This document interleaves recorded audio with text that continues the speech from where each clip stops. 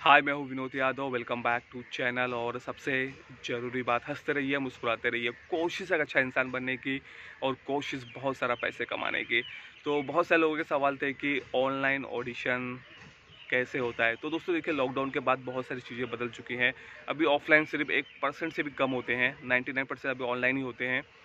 या आपको short list करके बुला लिया जाता है, वो अलग बात है।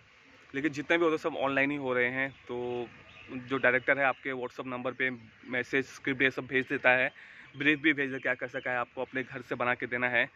तो मैं इतना बोलना चाहूँगा कि अपने घर पे थोड़ा लाइटिंग वीडिंग अच्छी रखिए दीवार थोड़े से पर्दे विदे लगा के रखिए तो थोड़ा अच्छा इंप्रेशन पड़ता है।